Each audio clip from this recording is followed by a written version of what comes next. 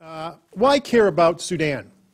Now, I have to say, and I, have said this, it upsets my friends in the NGO community and the church community, that the, the, Sudan issue has been an issue for the church and the synagogue and religious groups in the United States and the NGO community and human rights groups because of the atrocities committed over a 50, 60 year period. Since independence, 4 million people, most of them Southerners and civilians, have died uh, some of them uh, in atrocities that are unimaginable. The first cable I read when I joined AID in the uh, administration of George H.W. Bush 25 years ago was a cable saying that the, not the current government, but the previous government, which had been democratically elected, when they caught Dinka soldiers, were crucifying them as their means of execution. Because under Sharia law, one of the means of acceptable execution, I don't know if you know this, is, is crucifixion. I, I thought this was a joke. I said, this, is, this, is, this can't be. No, no one does this anymore. And they said, oh, my, my, my and they definitely do it. Uh, and so that was my introduction in, in May of 1989 to Sudan. Uh, and I don't mean it critically that the NGOs and human rights groups and, and church has, has dominated this, but we should look at this also as a strategic issue. The second largest producer of oil in Africa after Nigeria is Sudan.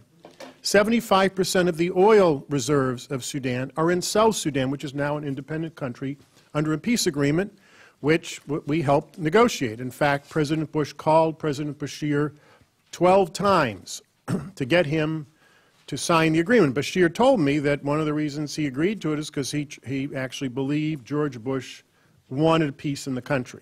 Now, President Bashir's worldview and my worldview are very different.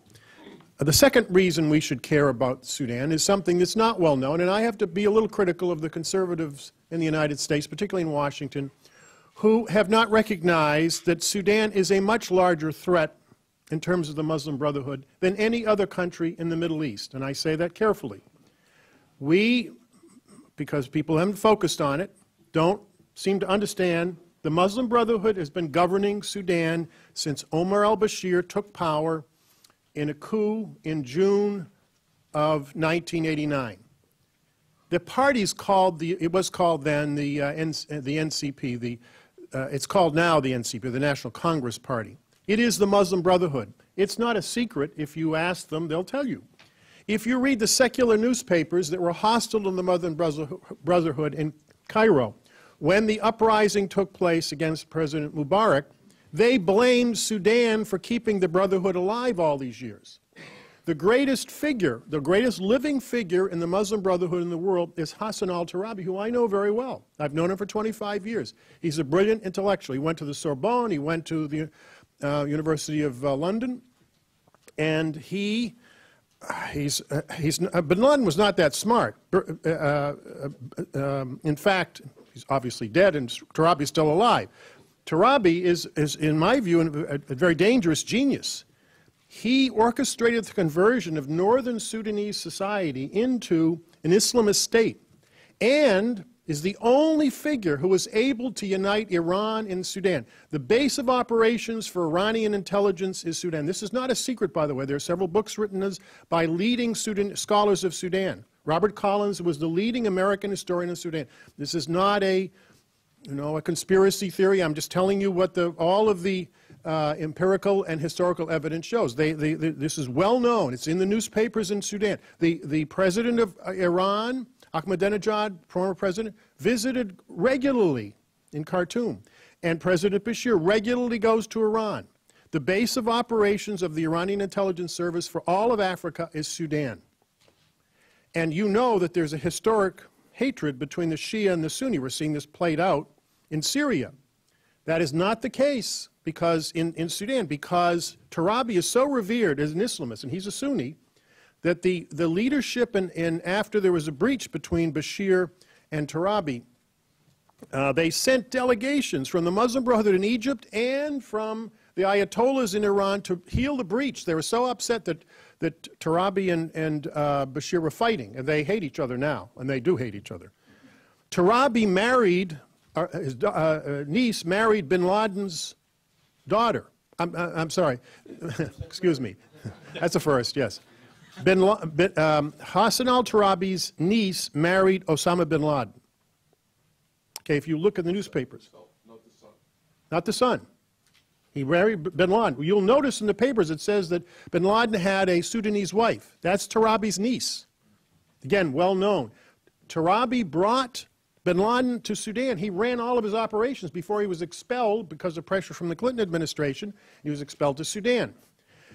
The plan of the Muslim Brotherhood, of the National Congress Party, the radical Islamists, was to use um, Sudan as a base of operations for the radical Islamization of Africa.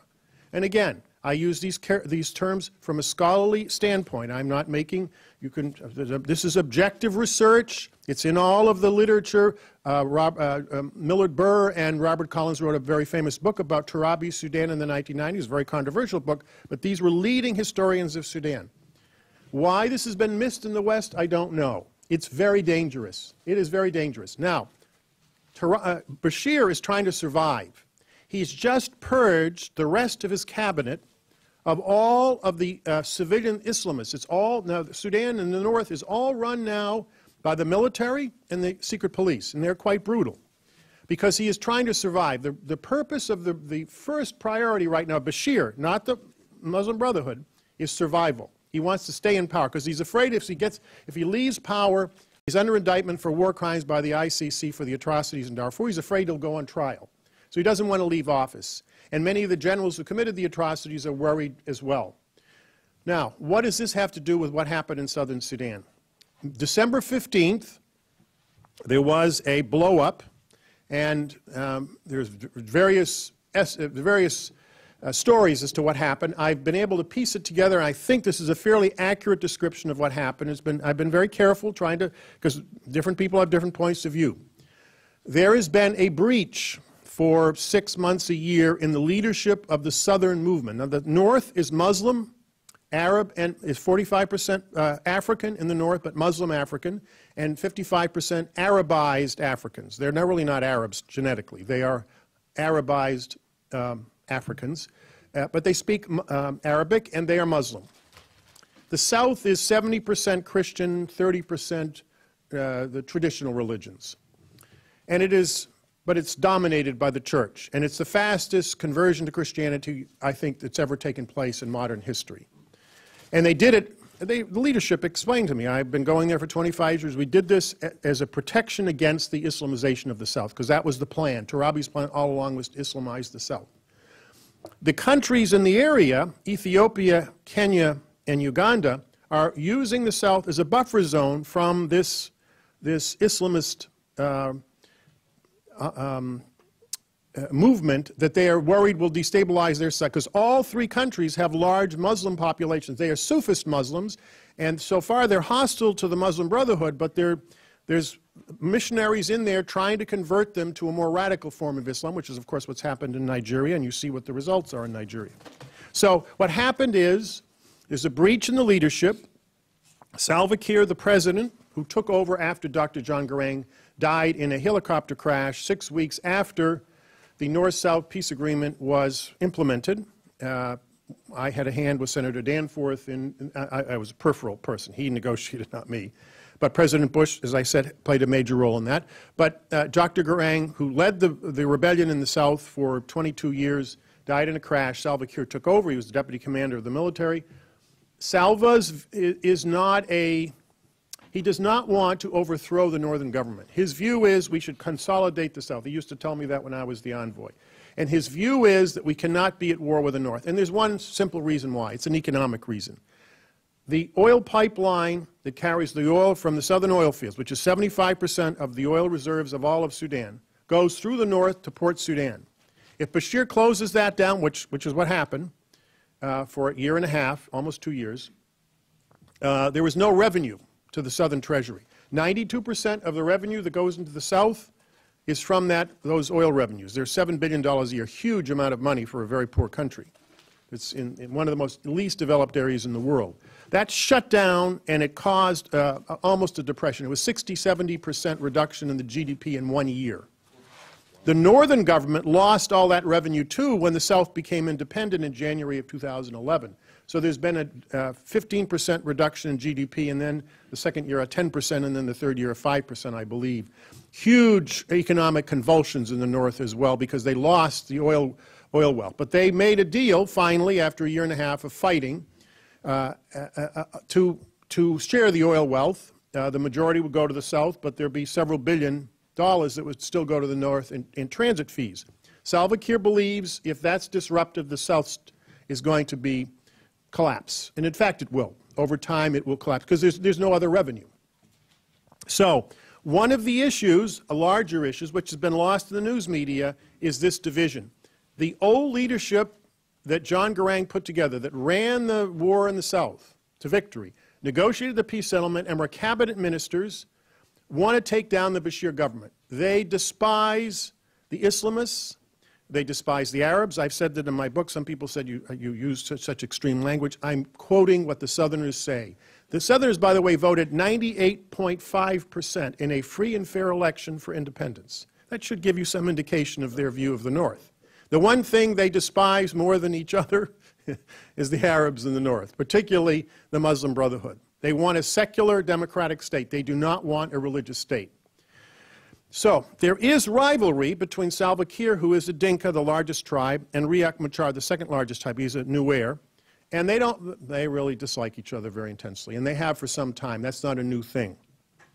I have argued with both of them that unless they stay united, the North will take advantage because they manipulate the tribes against each other. That's how they kept the war going since 1956, off and on. Why four million people died. They manipulated one tribe against another, and they armed one tribe against another, and the Southerners went along with it.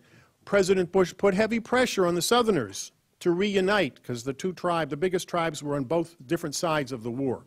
And they did. I was shocked when uh, Machar and John Garang walked into my office again. They hate each other, they used to hate each other. And they walked in together, and I said, I just can't believe this is happening. They said, well, we, for the larger good, we are going to unite. Machar was, until um, uh, this past summer, the vice president.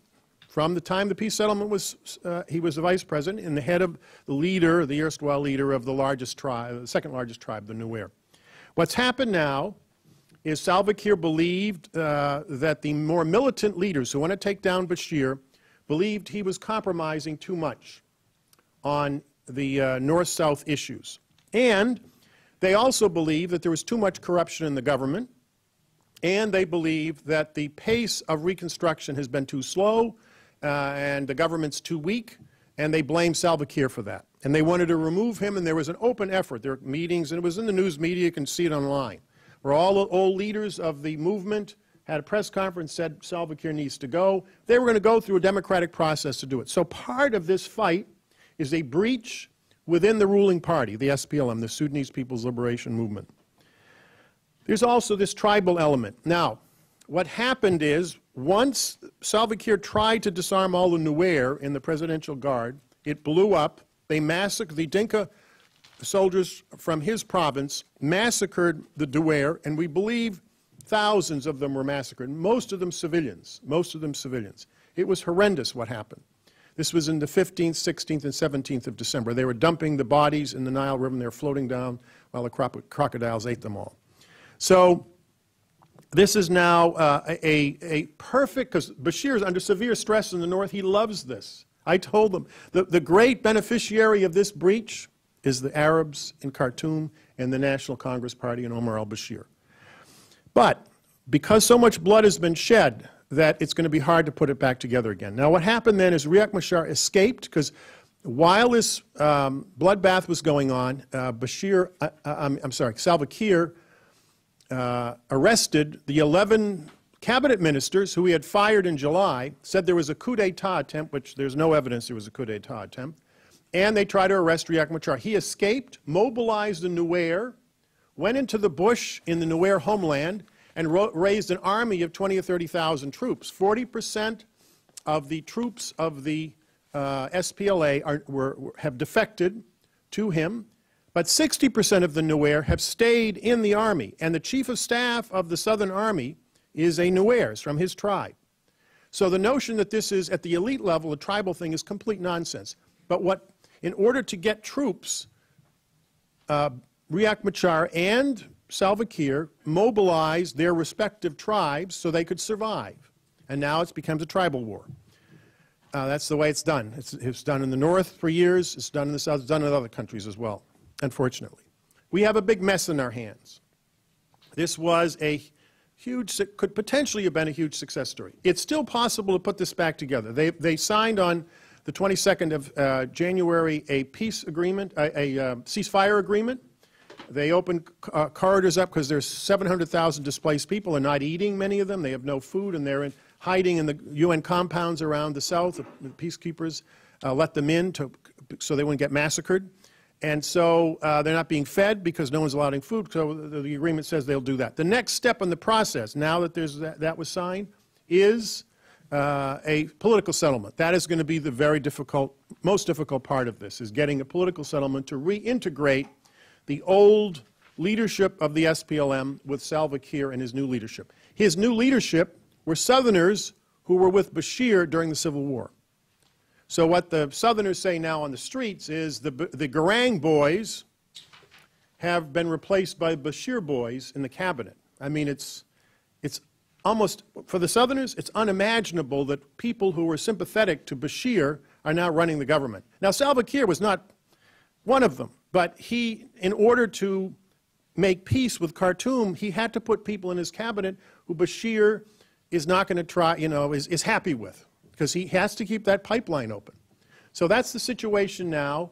Uh, we, the, the, you know, the United Nations, the Europeans, uh, the neighboring powers, and the United States have all been on the same page, thank heaven for once, trying to get a settlement so we can put this thing back together again. Are there any questions? Well, let me just say, first of all, thank you for a very comprehensive uh, rendering of this. I, I, forgot to mention, though it may have come to your attention, that um, uh, Andrew is currently a professor at uh, the uh, uh, Bush School of Government at Texas A&M, and if that uh, sounded like a rather professorial treatment of this subject in its comprehensiveness, it, it, it's for good reason. Ariel has reminded me that the government in Khartoum, excuse me, the government uh, in South Sudan is not the only government that has Muslim Brotherhood sympathizers uh, in it. Uh, to what extent does the uh, Obama administration uh, bear some responsibility for how this has played out? I, um, I, know that they helped broker this agreement, but do you feel that their sympathies have lied too much with the North in all of well, this? Well, some of the people on the NSC, like Susan Rice, and Gayle Smith are militant anti-Bashir activists. And they would attack me when I was saying I wasn't hardline. I was pretty hardline. They would not let me into Khartoum when President Bush, for two weeks, they would not give me a visa because they said, we're not taking our enemy and bringing him into Khartoum. And, and Bashir used to say to me, are you representing yourself or the U.S. government when you speak? And know, he would try to imply that I was more militant than anyone else in the United States. But, but the president himself is in a different position, in my view, than his own staff is. He has a very acrimonious relationship with Salva Kiir. President Bush invited Salva Kiir repeatedly to the Oval Office. When things were deteriorating, when I was envoy in October and November of 2007, the North-South almost went back to war. I think there would have been a massacre of the uh, same scale as Rwanda if they had. President Bush called Salva Kiir in with his cabinet and said, no military solution to this. We're going to negotiate this. That ended just because he said so. It ended the possibility of war between the North and the South that would have collapsed the peace agreement. Thank heaven. President Obama has never invited Salva Kiir, and he doesn't like him. They don't like each other personally, frankly. And um, uh, President Obama said that Salva Kiir lied to him about some issues. He said this publicly. Salva Kiir has said the president, the, the, the president uh, is not where George Bush was, and we don't know where he is. We think the Southern, some Southerners think the president is sympathetic to the Muslim Brotherhood. The administration policy, and, and this is not a secret, the administration policy before el-Sisi had the coup uh, last summer in July was to try to work with them. Now, I'm not saying that's sympathetic to them, but I mean, there were people arguing we can move them to a more constructive position. I never thought we could. I never thought we could. Because I dealt with Turabi. They're very good at manipulating language. They say the right thing. But the reality is they're very fanatical. And they have a plan. They have a plan which we refuse to recognize. Amen. Questions? Brett? I have two quick questions. Uh, First of all, uh, what what could you say about what the Sudanese government is doing to uh, maybe provide arms or encourage the insurgency in South Sudan? And and a- and a a different question, could you talk about the relationship between Sudan and China? China is one of Sudan's uh, patrons, and they, the- for example, the, uh, the, um, that pipeline that I mentioned, it's 60% funded by the Chinese oil and gas company, the national, nationalized company. Um, They have a large presence in the south as well. They run the oil fields. They're the largest oil company. There are three big oil companies in the south.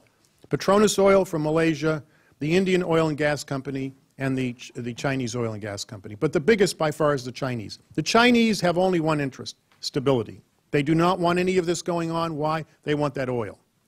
They also invested billions of dollars in building four huge dams north of Khartoum on the Nile River because the, the northern Sudanese have adopted the Chinese view of development, massive projects that are supposed to transform the landscape, which they did. The question is, the institutions are so screwed up in northern Sudan, it doesn't make any difference how many dams you build, it's not going to fix the country. And the Chinese now have invested that money in fixed assets. You can't move a dam once it's built, and they want to get their money back. So they, they have an interest, it's very clear, it's, and it's an economic interest. They, in fact, have been very helpful to the South since it was clear the South was becoming independent. They said, all right, you're going to become independent, we'll work with you too. And they're Chinese merchants and construction companies all over southern Sudan right now. What was the first question? To what extent is the Sudanese government backing? Uh, yes. Uh, they were backing, after independence was in July of 2011. Um, I went to the celebration. Salva Kiir himself invited me to come as his guest when I came, even though I was no longer in office anymore. And um, uh, since then, uh, there was a, a uh, tribe, the Murle tribe, about 300,000 people, who are very warlike, very isolated. They kidnap children, they kidnap cows. There's a cattle culture, so if you kidnap cows, you're, you know, you you disrupt a lot of things. There are about 10 million head of cattle in southern Sudan. It's the largest ratio in Africa. Is It's, a, it's a remarkable culture, actually. When I would visit a village, they would always slit the throat of a cow in front of me, and I had to jump over the car- carcass as it was kicking, as his head was rolling off. Uh, because when senior officials and the aristocracy from the old uh, chieftains would visit, they'd often have to sacrifice a bull in order for you to be there. So, um, so, so the Murle was a big problem. The Murle were funded by and armed by Bashir after independence. Bashir said he wouldn't do that. It's nonsense. It's now there's a Swiss think tank, uh, Small Arms Institute, and they've now proven, I think, without any question, that the government has been arming the Murle, 10,000 troops under David Yau Yau, to cause chaos in the South. And it has caused chaos in the South. They go in and they murdered people, and then there was reciprocal murders that went on. By the way, there have been atrocities by Riek Machar's people. He raised that army. He's taken the Nuer homeland. I didn't say this. And he massacred Dinka, just as the Dinka massacred the Nuer. So both sides have blood on their hands. Don't let anybody tell you that hmm. one side is to blame and the other side has nothing on their, you know, on their conscience. They do. So the North was clearly doing this. Now, what's happened since this took place December 15th? David Yau Yau has signed an amnesty agreement with the government and joined the government. Now, I said, doesn't that tell you something? I mean, how, after two and a half years of war, all of a sudden, David Yau Yau joins the government, accepts an amnesty offer. Why is that? It was the day after Omar al-Bashir visited Khartoum that David Yau Yau said, I'll, uh, I'll agree to the amnesty. Why is that? Because I'm sure Salva Kiir said, please, can you end this insurgency? This is an additional problem we have. And Bashir, I'm sure, gave the order, and that's exactly what happened. So it's pretty clear now that they were arming, and they're causing chaos. They caused chaos in the South. There were 70 armed militias paid for by and armed by Khartoum during the 50 years of the Civil War, and Salva Kiir had to absorb all those into the Southern Army. You know the largest land army in Africa? It's not in Nigeria, South Africa. It's in Southern Sudan. They have 300,000 troops in their army. 125 those- 125,000 regulars and 125,000 militias that they have absorbed and pay on, they have on, on the payroll. It's very expensive. So yes, they were um, arming them before. I think Salva Kiir and Bashir need each other to survive. Both of them need each other. Because if that oil field shuts down one more time, both of them are toast. And they know it. And they know it. Their economies will collapse. Any other questions? Andrew, Uh, Ariel? What kind of sanctions, huh? what kind of sanctions uh, Northern Sudan is under right now? Uh, Are they general sanctions or only personal sanctions Every against? conceivable sanction known to mankind is on this northern Sudanese government. More sanctions are in northern Sudan than in Iran, and I mean that seriously. Um, all of the sanctions on the oil in Iran are also, were also on the oil in, uh, in, uh, that before independence. Now they removed them because that would have meant that southern, the Southerners couldn't sell their oil. But uh, it almost collapsed the northern economy when George Bush imposed um, uh, sanctions on the oil uh, shipments out of Khartoum. So there, everything you can conceive of. Now, what the administration has said is they will begin to put personal sanctions on leaders on both sides if it appears that they are not complying with what they sign. So the enforcement mechanism for this uh, ceasefire agreement is the U.S. government. I, people aren't saying it that way, but that's in fact what's going on. But the sanctions on the oil sector in the north still, still apply? I believe they have, they are no longer uh, applying because uh, if they were, then the Southerners couldn't sell the oil from the southern oil fields. It's one of the first things that I think President Bush had to try to rescind because if he hadn't done that, it would have collapsed the southern economy.